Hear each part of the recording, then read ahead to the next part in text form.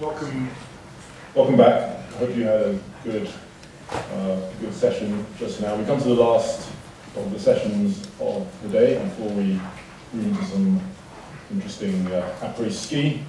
But it really gives me great pleasure to introduce my friend, my business partner, my colleague, Rob Gardner, well known to all of you. Uh, Rob um, is, is, one of the industry heavyweights. He's a pioneer. He's um, put his finger in so many many pies. It's difficult to, difficult to keep count. But Rob and I worked together back at uh, back at Merrill, and then we, we left and, and founded Redington back in 2006. And I mean, Rob has, has advised and has spoken to just about every just about every pension fund out there over 500 million pounds. I should have thought. I don't think anyone talks to more pension funds than Rob does. Really got his finger on the pulse, and he's the ideal person to, to, to give this next uh, this next talk. Rob's going to look at pension funds, looking back over the last 15 years. Why are we where we are, and what does the next 5, 10, 15 years hold for us? So he's super busy. I don't know how much time he's had to prepare, but uh, his stuff's always good, and I'm looking forward to it. So, Rob. Thanks, Eric. The one thing I asked Darren was not to overcook the intro, so uh, lucky he didn't overcook the intro. Uh, so I've got about 35 minutes, and, and, and what I wanted to do was really zoom out uh, and, and, and, think about where we are. So I've picked the analogy of our pensions industry being like a massive uh, ocean-going tanker, uh, and I'm going to use the analogy of a, a, the fire in the galley. And we, anyone who sails anyone who's on a ship knows that if you have a fire in the galley, uh, you, you, want to deal with it uh, pretty quickly. Uh, the, the challenge is, as I was reading, one commentator has said, is that this may be a species-defining problem. I.e., the way we care for our old and the way we provide for our young is absolutely defining of all species on the planet. And the sheer quantum of the numbers are scary. Uh, by 2050, this problem is about 100 trillion dollars. I mean, it's hard to even fathom or compute the numbers. So what I'm going to do is I'm going to go right the way back and just start in the UK and FTSE 350 because the numbers are only billions of pounds rather than trillions of dollars. And I'm just going to build up, building block by building block, so you can just see uh, the, the, the, magnitude uh, of the challenge we face.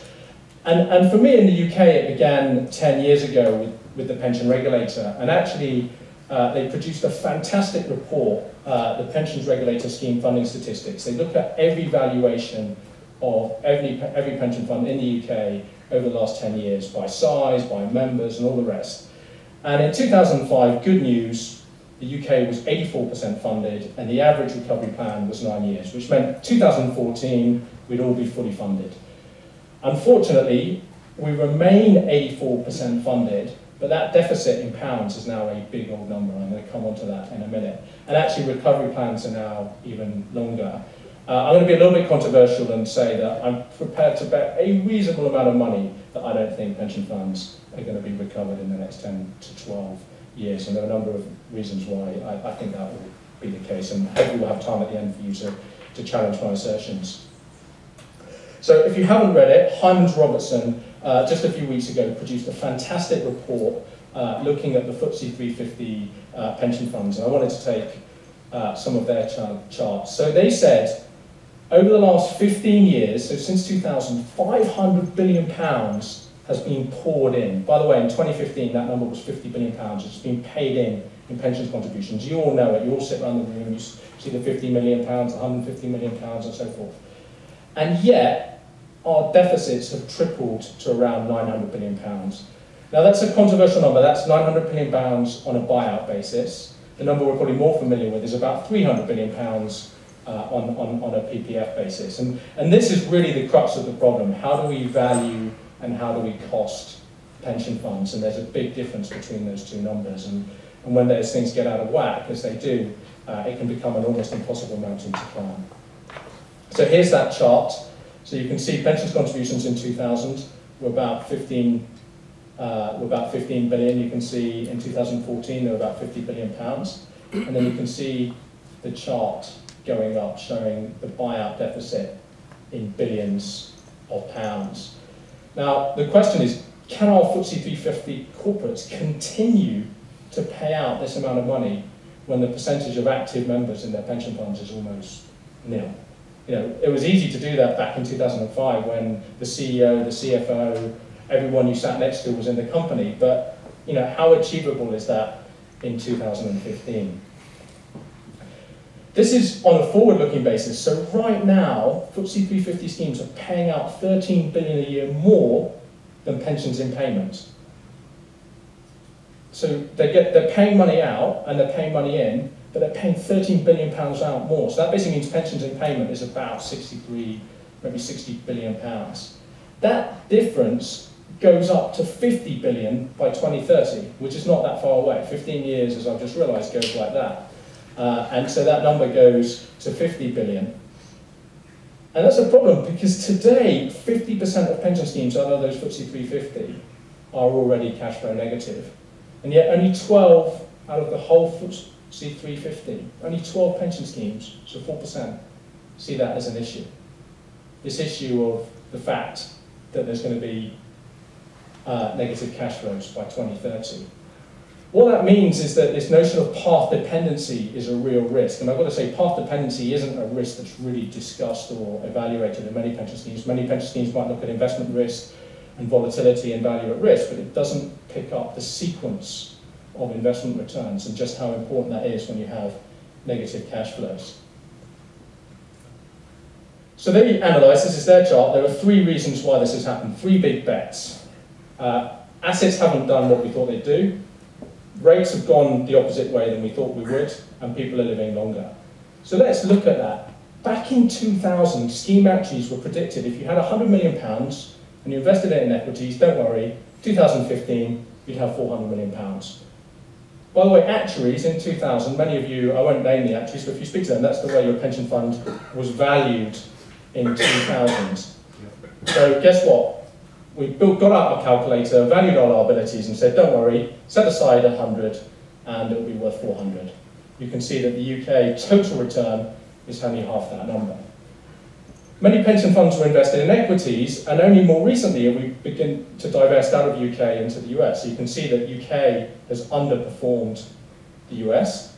The next slide is going to make me unpopular with about 15% of the room, but active management hasn't delivered doesn't matter on what this is in the US, but basically, percent of actively managed funds outperformed by the benchmark. That's the wrong way round. And basically, it's 80% uh, of fund managers are not beating the benchmark. So equities haven't delivered, UK equities haven't delivered as much as, let's say, US. Uh, active management hasn't delivered. Some even diversified into hedge funds. And when they did was probably about here, when they were looking back at these returns. And this is from The Economist, and you can see what's happened to hedge fund returns since. But despite that, assets have grown from about 750 to 1.2 trillion. I mean, that's a big chunk of money. I mean, uh, it supports an entire ecosystem. So that's the asset side of the equation. So let's look at what's happened to the liabilities. That was the forward curve in 2000. Now what's amazing is that back in 2000 people thought an inverted yield curve was mad. I remember lots of people when I started at Deutsche Bank saying it doesn't make any sense to have an inverted yield curve and yet actually that's been a pretty good predictor of what's happened. Unfortunately the shift down in these curves means that the present value of those liabilities has just skyrocketed. In fact liabilities have shot up 50% in just the last five years as that yield curve has gone from there to there. It also turns out we're not very good at forecasting or predicting real yields. So we have our valuation and we all have a view on what they are, but this is just Wall Street economists. Uh, and basically this is saying that they systematically uh, overestimate 10-year yields, so 60 basis points too high uh, on average over this, uh, over this period. Which is why we find ourselves where we are. So the assets have done very well, but this is the PPF liabilities. Remember, they're capped out, they're much smaller, you can see that that's now about a 300 billion pound gap. And a lot of that move has come from the fall in real yields. And then let's look at the third part. People are living longer. And again, you can see in 2000, people were forecast to live about 80 years. And then slowly life expectancy has been pushed out, so that about 2015 was sort of 83 and a half. 84. So I thought, well, that's where we are. Beautiful oil tanker has got a fire, and somehow we didn't manage to put the fire out quick enough. But what I wanted to do is go back and do some sort of actuarial building blocks and say, how did we get to where we got here? So this is my 35-year-old man, and said, how do you calculate a cost of accrual? So this is what your scheme actuary would have done. So in 2000, you'd have taken that 35-year-old male, predicted out to 65, and made a payment, and based on his life expectancy, come up with a cash flow. So I'm not looking at discounting, I'm just trying to understand what's happened to that cash flow due to changes in inflation and changes in longevity. And so you can see that that cash flow profile has increased by longevity and then by inflation. Now, the inflation looks worse than it is. It's actually, it's a bit like an area of a rectangle. The problem is, is that inflation and longevity, they're not additive. They're, sort of, I can't even say the word multiplicative, but you, you need to multiply the two, and the area gets uh, a, a lot bigger. So the, the sum of cash flows that will be paid out to this 35-year-old uh, has grown substantively. Now, what, what are some of the sort of numbers and factors that I've used in this? And what's interesting is that in the beginning it was really inflation going up that was the core driver. And you can see that actually long-end gilt rates didn't really change. It's only really been in the last five years that long-end gilt rates in terms of the present value effect have really started to kick in.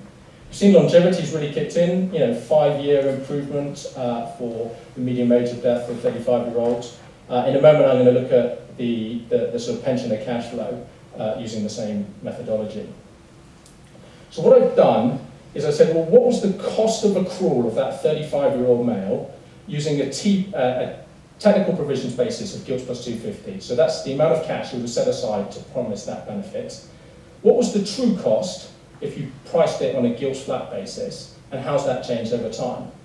So in 2000, if you'd taken that cash flow profile and discounted it at the then prevalent gilt rate and added 2.5%, which is probably what most of you in this room have done, you'd have set aside 11%. That was your cost of accrual. Now, actually, at that point in time, if you'd valued it correctly, or if you, sorry, and this, I know this is probably the controversial price of the valuation of liabilities versus cost. The cost on a gilt flat basis, i.e. the cost of not making that 2.5% over gilts was 29%. Unfortunately, if you fast forward to today, even at a gilts plus 250 basis, that cost of accrual is 32%. That's why many companies are now closing to future accrual. Again, in the same report, Hymans are basically saying in the next few years, all FTSE 350 companies will be closing their pension funds to future accrual. When in fact, the gilt flat cost is 96%. This is challenging in public pensions because many public pensions are using this as a funding methodology. I was reading one annual report of a London Borough pension fund, and they're saying, good news, we're funding our pension fund because we're still open, uh, and, and we're going to use that, and we're going to sort of average it out, and, and over the next 15 years, we'll fully fund it. But unfortunately, they're granting benefits, even on a care basis, or the rest, using a gilts plus 2.5% basis. And so if it doesn't deliver that 2.5%, the true cost will be more like 96%. And I think this is the real cause of that fire in the galley. Let's just look at the attribution. How did we go from 10.6 to uh, 32%? A big part has been the fall in nominal discount rates, a little part to inflation, and a little bit to longevity. But that's not the whole factor. Actually, you can see that a big chunk is really this combination, and it's really the combination of the inflation and mortality. It's that sort of cross product of people living longer and inflation really uh, increasing the cash flows. 30 years later, here he is, 65, uh, enjoying the beach. Uh, what, what was the annuity uh, like in 2000? So this is that same cash flow projection using 2000 mortality tables, using 2000 gilt rates, 2000 inflation.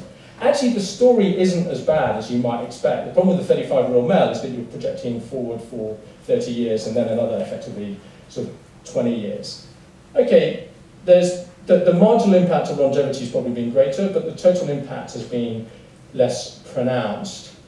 And if we look at the annuity factor, and again, this is not, I'm not trying to say this is the cost of an annuity, but this is just sort of pricing an annuity using those same gilt rates, that same inflation, same longevity. Basically, 15 pounds bought you one pound of income until you died. That's really what that was saying in 2000. And look, it's gone up to about 23, 24. So it has been an increase, but nothing like as pronounced as that cost of accrual uh, of the 35-year-old male. Again, you can see falling gilt rates, big cause. Actually, you can see that longevity as a percentage uh, is bigger, and then the combination less pronounced as it was uh, in uh, the 35-year-old male. So really, this fry in the galley is much more a function of the cost of accrual uh, and, and correctly valuing, pricing those liabilities. I want to zoom out and go, well, what does this mean for the UK? What does this mean for Europe? And so, and by the way, it's so hard to get hold of data. This is the scary thing. So this is an ONS report in 2012. It has not been updated since 2012. You can see private sector pensions, 1.7 trillion. But this is scary. Unfunded liabilities of 4.8 trillion. I've done some back of the fag packet arithmetic, and I think if you were updating it today, that number would be over 10 trillion pounds. These are enormous numbers. I mean, if anyone's seen the visualization of QE, if you took all the 20 pound notes and stacked them up in Palace and put it into Twickenham Stadium, that might get you a trillion pounds. So is 10 Twickenham Stadiums full of 20 pound notes. I mean, it's just an insane amount of money that needs to be financed from somewhere. Well, what about Europe? By the way, this chart shows the cost of pensions as a percentage of GDP. And this is not based on any kind of gilt flat methodology. This is based on an actuarial one. Uh, so you can see some pretty, some pretty scary numbers. But let's zoom into our friends Germany. Uh, just a, a, few months ago, uh, Lufthansa announced that their pensions liabilities had gone up by 41%. So let's look at what that means for the DAX. So this was in the FTSE, uh, uh, in the FT a few, uh, a few weeks ago. You can see that the, the deficit in 2008 was only 100 billion euros. This is just for 30 companies, by the way. It's gone from 100 billion to 200 billion, and the funding ratio has gone from 65% to 55%. And if we updated that today, that would be even lower, that would be down at 50%. So it's not just a UK problem, it's not just a corporate problem, uh, it's a European problem.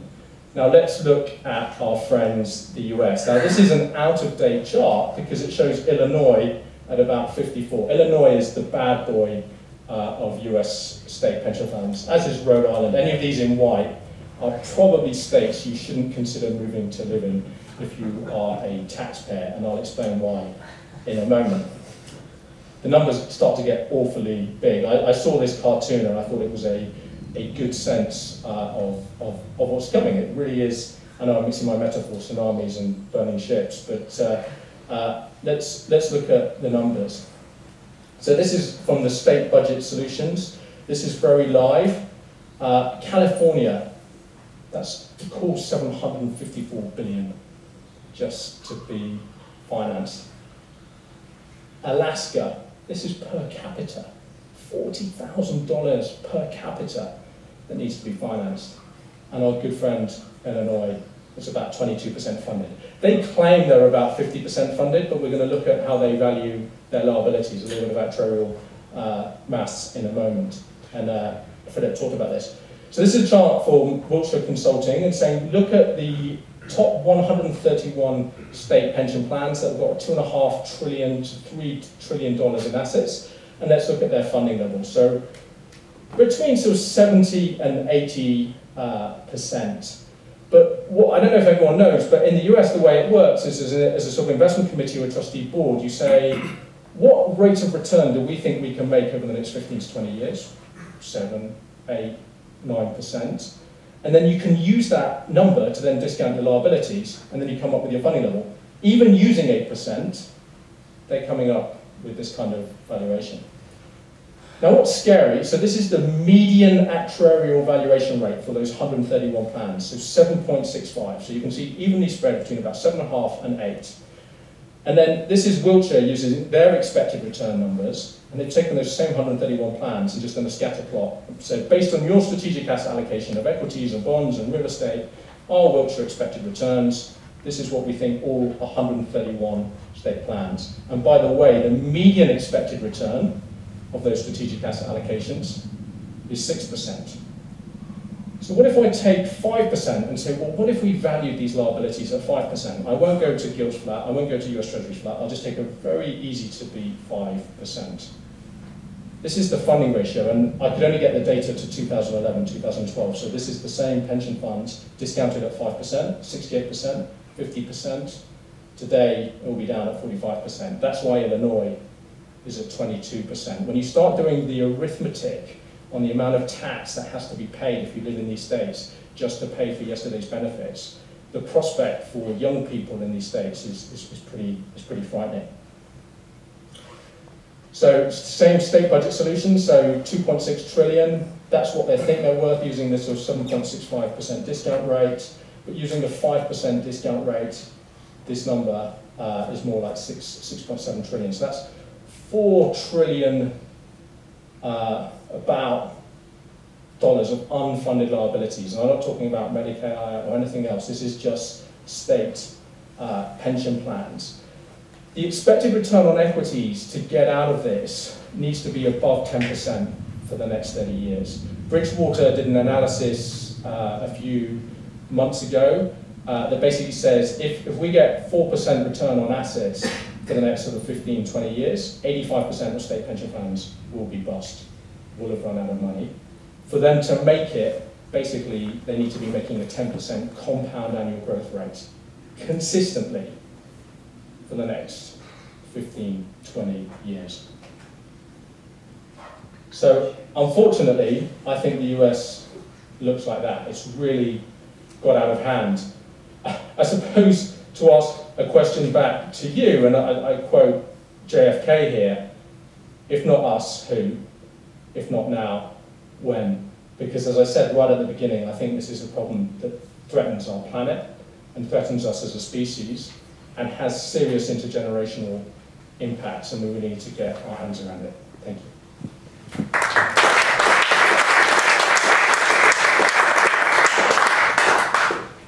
Brilliant, thank you Rob. Why don't we take some, some questions, some pretty startling stuff in there and uh, Let's see if anyone's got a question that uh, Rob can deal with. Hmm. Just uh, where you come from, if you would. David Morley from Eaton Vance. It's just a quick question about um, UK public sector unfunded liabilities, so the civil service teachers, firemen and so on, which is 0% uh, funded, and how, how big an issue is that and what do we need to, what do we need to start to do to fill that gap? Yeah, I mean, that, that, that was the one in the ONS chart, which was that 4.8 trillion of unfunded uh, liabilities. I think the, the reality is, is that uh, a promise was granted that is just completely unaffordable. And actually, there are horrible uh, knock-on effects. So not only are we going to sort of give our junior doctors a hard time, but basically, if you're a doctor and 55, you're pretty wealthy. If you've got a final salary pension fund, many of these doctors might even have a million pounds, over a million pounds in, in salary, or in, in, in, in final salary benefits. I mean, th this is, I think, the challenge because uh, it requires a massive restructuring. It's a bit like Philip was talking about. We, we basically, we've proven that we weren't able to grow our way out. We gave out these pensions basically saying we can grow our way out, and we haven't.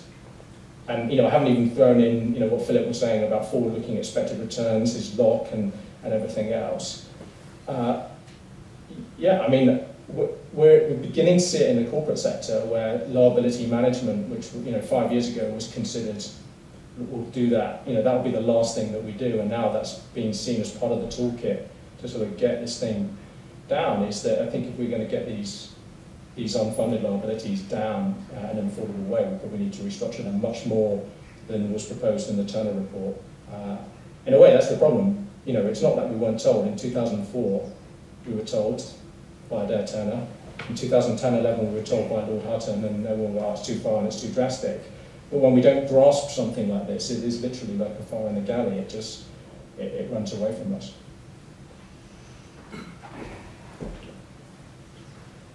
Uh, Paul Trickett from uh, Railpen.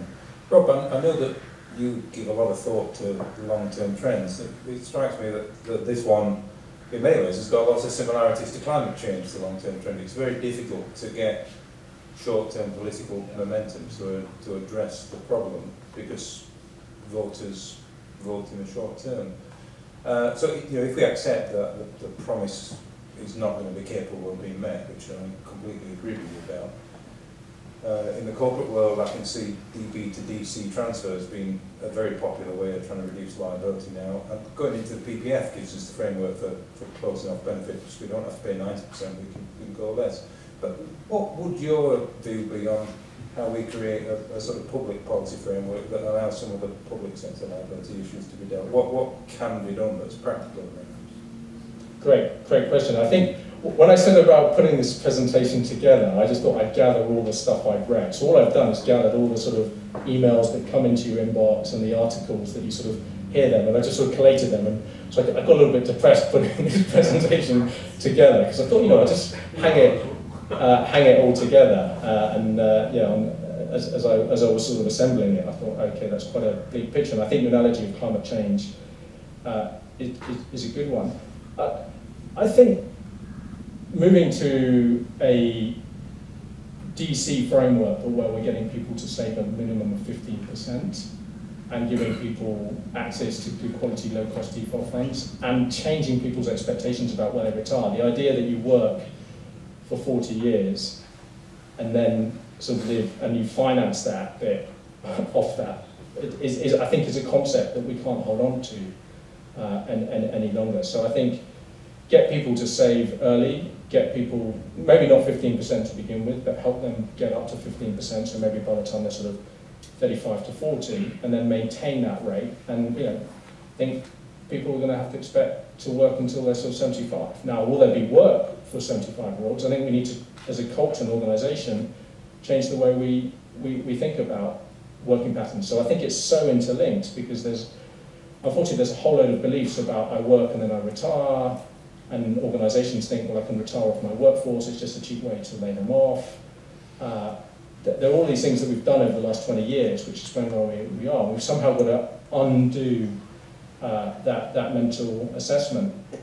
In Australia, uh, you know, many people are going back to work. Uber drivers are often in their 80s because they can't find a, an income. I was speaking to someone who wants to set up a charity to teach sort of older people how to make use of their, their, their sort of assets or their skills to go, go back and try and you know, earn an income uh, while, whilst they're, they're in retirement. Uh, but yeah, I, I, my view and our response to the HMT consultation was that we need to get the savings ratio up to 15% uh, as quickly as possible.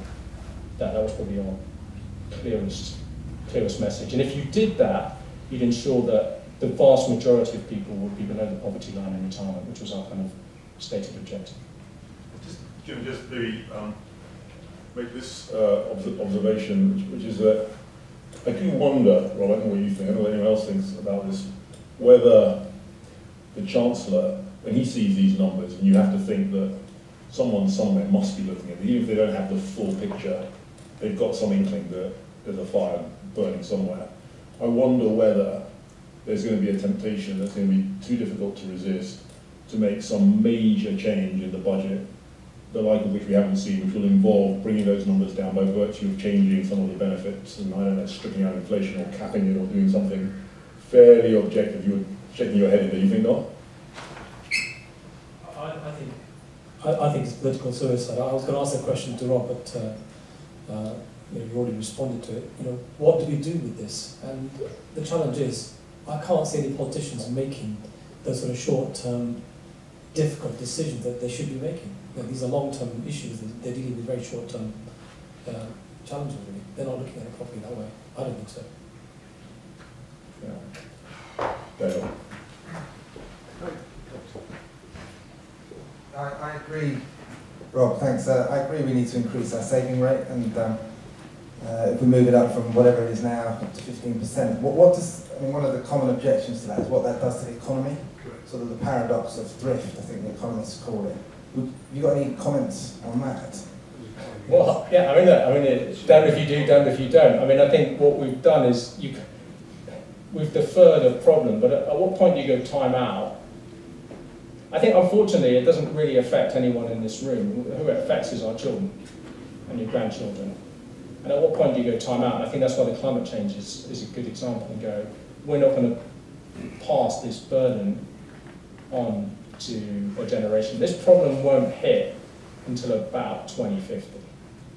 And some of you maybe, that I gave a talk at the NAPF, I was talking about trying to get young people to save, but I, I, I did a parody of the, the Hunger Games, and I called it the Retirement Games, but I have a vision of the future where, you know, in 20, you know, 2050, people in the DC district are sort of rounded up and they have to fight, and the winner gets their pension. But I mean, obviously there's a reason people make these movies. Uh, and I think that, that, that, is, that is the challenge that we, that we face. You could escalate, you don't need to go to 15% overnight. And actually, uh, there's a lot of behavioral psychology in this, which is, I've just started reading a book called Strategy and the Fat Smoker, which is about why is it that we all have come up with great strategies. Strategy is easy, but implementing it is so hard. And it was written by a guy, uh, David Maister, who basically was overweight and smoked, and then took drastic action when he basically found out he was almost going to die. And then he was like, okay, right, I'm going to cut, you know, I'm going to sort out my diet, I'm going to exercise, I'm going to give up smoking. And, but he makes the point that we've got to break these almost impossible tasks down into really small salami slices. So Alcoholics Anonymous, you don't sign up and say, I'm never going to drink alcohol for the rest of my life. That's too hard a promise to keep. You say, I'm not going to drink alcohol today. Now, hopefully you keep that promise every day. And so I think using that same analogy, you know, we could flight plan our way from 8% to 15%, you know, over the next 10 to 15 years. But what if we had put a policy in place that says by 2025, we'd like our savings ratio to be 15%? And we know that. The Australian politicians were all saying if only we pushed, auto, if only we pushed the savings ratio up from 9% to 15%. So copy paste 20 years ago, 1995, they knew the right answer was 15. They got enough political will to get it up to 9%, and they couldn't get it up to 15. But they could have easily said, we'll try and get it up to 15% 20 years from now. We'll just do half a percent a year.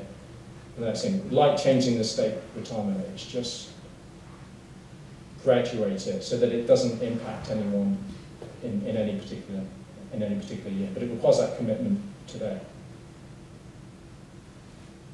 Excuse me, I just got two questions. One is um, back to the economy. If you have a savings rate of 15%, however you do it, you're becoming like Japan. And you've got to remember that when you're thinking about um, the economy in general. The other one is, is a shorter term issue, which is you have a, a huge demand, three times as much as supply in index-linked gilts, as far as I understand it. I can never understand, I know there's an inflation aspect to this, why the government doesn't issue much more index-linked gilts. Well, but we already think they're borrowing too much, so No, no, but, but they have to fund the deficit and so Oh, yeah, I mean, to be fair, I mean, over the last five, six years, the proportion of index-linked gilts that the DMO issues, it's been issuing more and more DMO, sorry, it's been issuing more and more index-linked gilts and long-dated index-linked gilts. Yeah, but as a percentage of the total bond market, it's tiny. Yeah, but that, but that's just the sheer, so as a percentage of the liabilities, it's tiny. As a percent, the DMO has, as a percentage of the amount it borrows, has been restructuring its debt from short-dated fixed to longer-dated inflation. So, and remember the I mean, Just so I'm clear about it, I don't know the numbers exactly, but it's still a percentage of issuance, it's still quite small. Yeah, well, but that's because the problem is so vast. It's not the you know the, we've got two trillion of liabilities, and they're only needing to sort of have you know 350 billion, 400 billion to finance. Uh, within that 400 billion, they have shifted it from more fixed to more long dated, and but it's not going to take it up to uh, you know several trillion. Which is why I think some of the people in this room, whether it's the infrastructure or the lifetime mortgages or the rest, are trying to say what are alternative ways of finding long-dated inflation-linked cash flows that we can use to, to get this. Because if you can make gilts plus two and a half inflation-linked, then obviously the numbers work. There doesn't seem much we can do. Well, really, realistically, because I think it's a very nice idea of going savings rates fifteen percent, but the impact on the economy in terms of spending will be considerable, and therefore your, your, your growth rate goes down. You know, I mean, it doesn't work, that's what I'm trying to say to you. But the issue is whether it's a short-term problem or a long-term problem. That we don't take the grasp the nettle and we don't take the pain. Sorry, we're just saying that we're not grasping any nettle, so we're not taking any pain. So by not grasping a nettle now, we're deferring the pain for future generations. The reality is we just can't afford that gap. And whatever returns we're getting is not going to close the gap. So drastic action has to be taken in terms of pension schemes, refining the benefits that people have been promised. They won't do it. Um, But it's, it's like rescheduling debt, you know, Yeah. we've just rescheduled Greek's death, but we, we know that Greece is going to default in a few years' time. And we're just not grasping the nettle, so the question is, and the problem with this clearly states is we have a political spectrum that people aren't going to, they can't see it. If you can't see something, they're not going to do anything about it. These, these are promised and earned benefits, aren't they? I mean, you can't change them. Well, but, but let's say just, let's take it back to the FTSE 350 where I think we can do something. So I've probably taken it macro and, and sort of made it all. But take it back to the FTSE 350. I think something can be done now to stop it being a problem in 2030. I think unless something does get done that's different to the way we got to where we got to, those FTSE 350 will be in, in, in, in big trouble. The fact that only sort of 4% are even worried or thinking about that sort of cash flow negativity is, I, I I think is, is an issue. The problem is as well, that, that 900 billion pound buyout deficit number that Hymans gave, that's the same as everyone's combined salary in the UK in 2015. So everybody in the UK, if you took everyone's salary in the UK, you wouldn't have been able to pay off the pension deficit in 2015. I mean, that, well, on a buyout basis, not on a, not on a sort of TP funding basis. I mean, yeah, that's, the numbers are, the numbers are big. I, I think the FTSE 350 problem is a containable problem. Uh, uh, the, you know, how we restructure state, U, UK state benefits, the unfunded liabilities, how do we pay for that? That becomes an issue. And, and the challenge is the chart that Philip Coggan showed, showing the fact that, uh, I can't remember what date it was, but it was at a date in some point in the future, let's call it 2030, basically 50% of people in Europe will be over 65. So if you look at the percentage of 65-year-olds as a percentage of the uh, 18 to 64-year-olds, that will hit 50%. So you, you, you have a real uh, dependency ratio issue. And th this is just basic sort of demographics. In, back in you know, the early 1900s, 1910, 1906, when pensions came into place, the dependency ratio was 9, nine to 1, nine workers for one person retiring. It's gone to 3 to 1, and it will go to 2 to 1, and it will just, and it will keep going. And when it gets to 1 to 1, it will be an unaffordable promise. Rob, Andrew, Swan, Energy. Um, I, I wonder whether we're just forgetting a bit of human resourcefulness here as well, in that, you know, we're living longer. Uh, I can't think of anything worse than retiring for 25 years. And that, you know, whilst there is, I think, some political problems in pushing up retirement uh, ages, and, and as you were alluding to there, when people used to retire, I think the average age, you know, 30 years ago, 40 years ago when people retired, it was they'd live for another six years. I think we're forgetting that people might not want to retire. People are healthier, um, they're, they're living longer. Let's have some of that champagne. um, and, and they will work and there will be jobs. We saw from, from Philip that you know, the, the, the, the workforce is, is falling. Um, I think people will be resourceful and they want to work for longer. I, I, that would definitely, if people, A, work, every year people work longer, they're saving more, and they've got another year's worth of investment. So it doesn't, you don't have to kick, you don't have to move it by more than a few years. You get a double whammy effect because, let's say you move it by five years, you've got five years more saving, five years more of investment, and then five years less of drawdown. So it, actually shifting it by five years has a transformative effect. When we saw what happened in sort of France and Greece, you know, just two, three years ago. But I think that, that's a, that, that's a, a much easier lever to move. Uh, what, Paul Trickett again, retired age 55. um, so, so, so not a great example to anybody, I think. Um, I, I, I, I sort of, I can see how we can address the problem that, that we're talking about in relation to corporate pension provision. Uh, and a lot of what we're talking about you know, might, might work through in time. I'm still, I still struggle a lot with the, the public sector unfunded elements, but indeed even the funded elements of the, of the public sector. And when I, I look at the, the triple lock in relation to state benefits, and, and you see what a huge transfer in wealth that's been over the last few years from a younger generation to an older generation, largely as far as I can make out, simply because the older generation brought more and tends to vote Tory.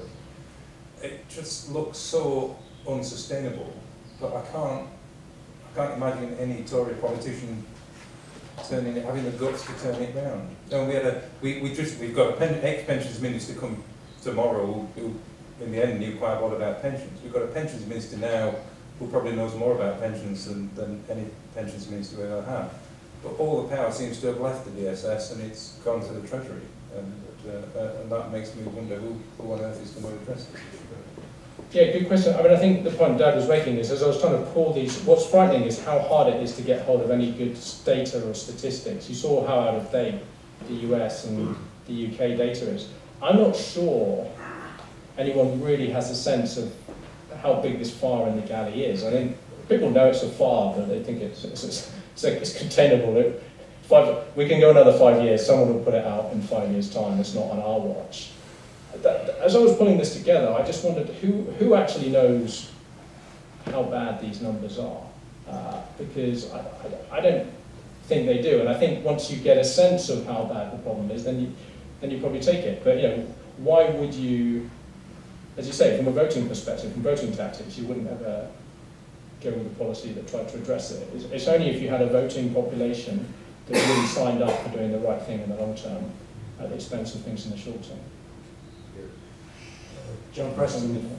Sorry, uh, sorry, John Preston from the PwC uh, Pension Fund. Uh, I'm conscious this is a very depressing discussion.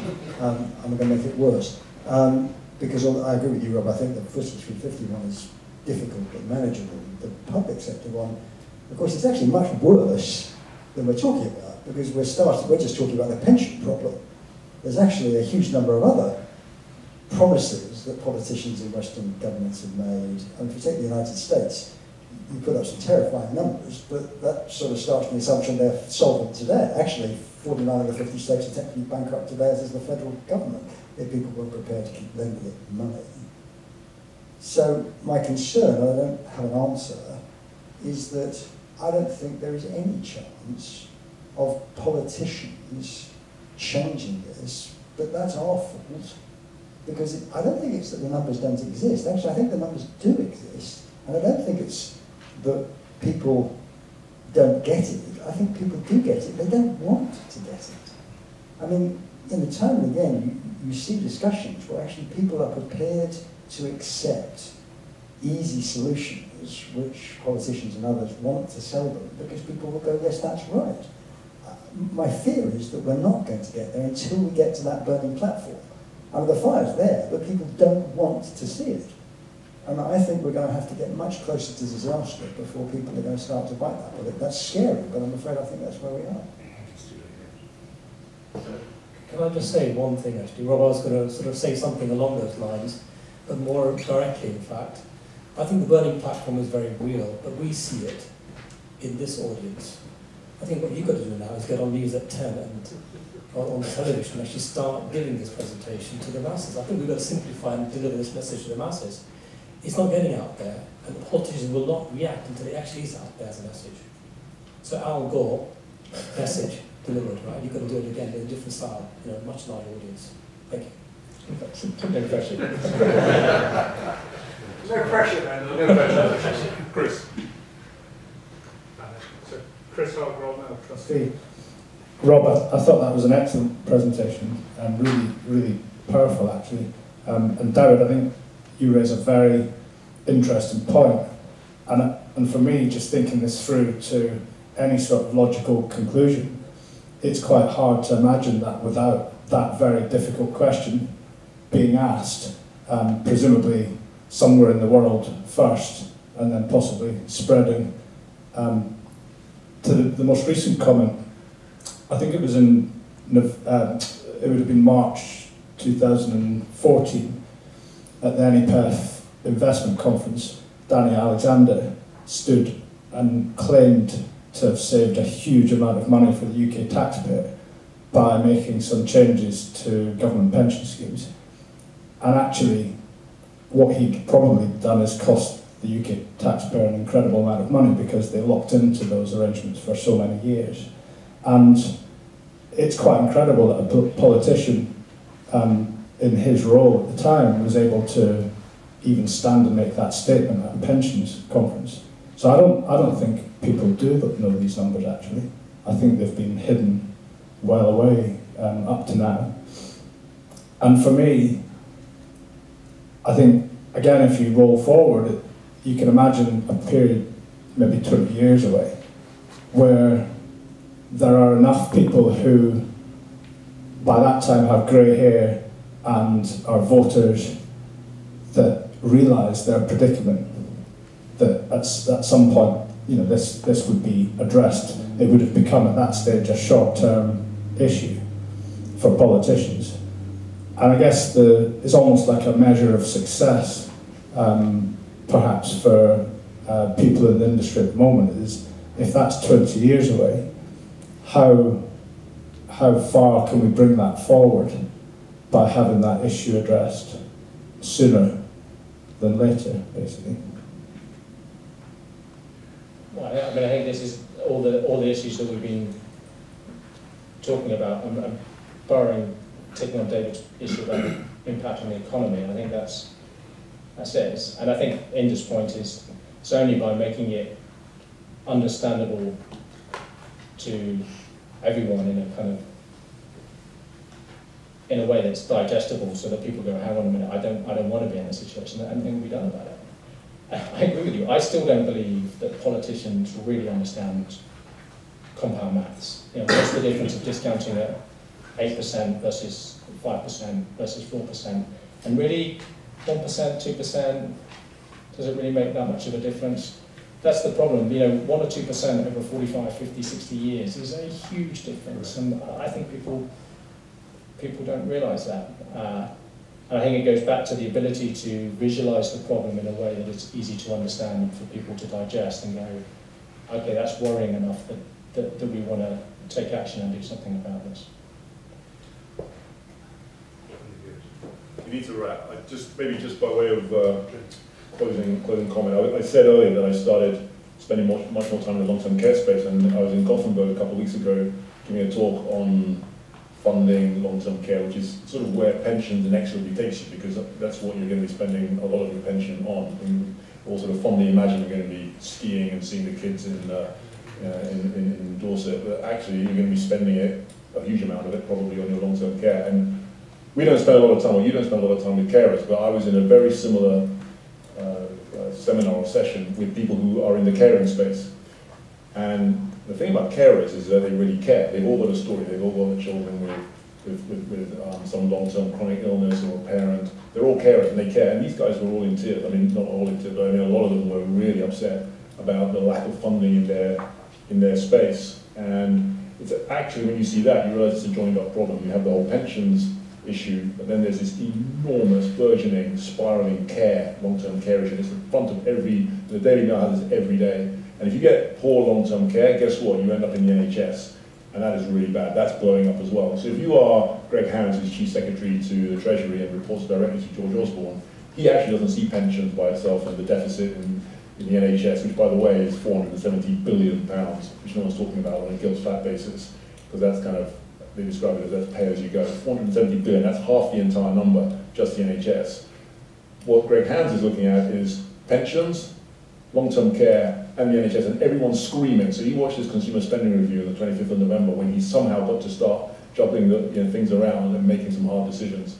And uh, it's going to be fascinating. There's one school of thought that says, for the first time, you've got a politician, George Osborne, who, and David Cameron, who wants a legacy of some description, presumably he's checking out at the end of this, who might, for the first time, be, be emboldened to make some brave decisions. We'll see what it looks like in March. Won't be anything like, you know, what's actually necessary, but you might be, you know, you might, might be surprised. So, um, who knows? But uh, what a great, great presentation. Fantastic. Uh,